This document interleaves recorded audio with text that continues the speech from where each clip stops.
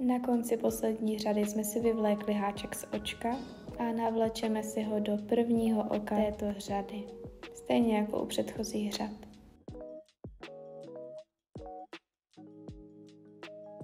Lehce utáhneme.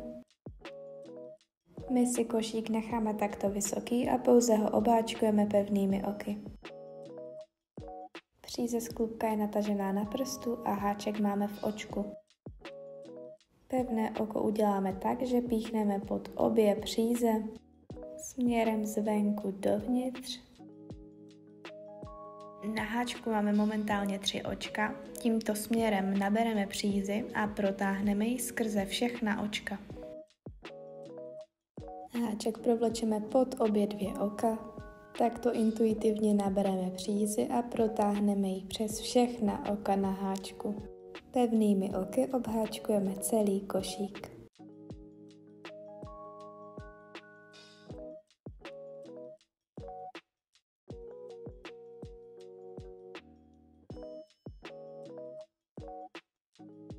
Jsme na konci poslední řady a uděláme poslední pevné oko.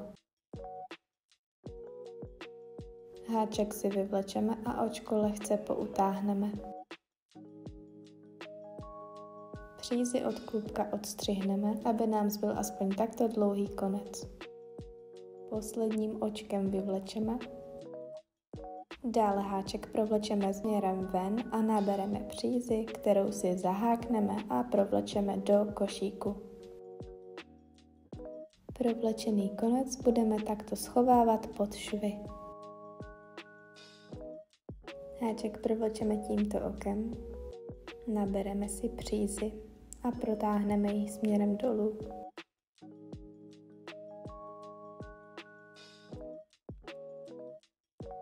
Přízy, která nám takto zbyla, odstřihneme.